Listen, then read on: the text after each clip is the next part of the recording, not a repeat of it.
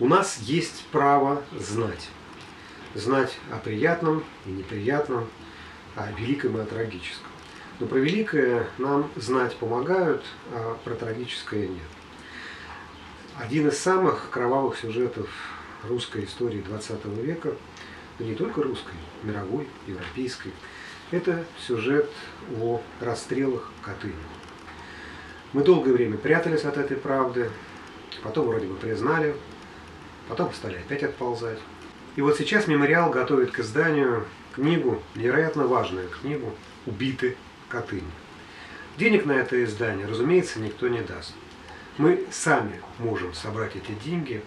Я буду принимать участие в сборе средств и прошу вас к этому очень важному делу присоединиться.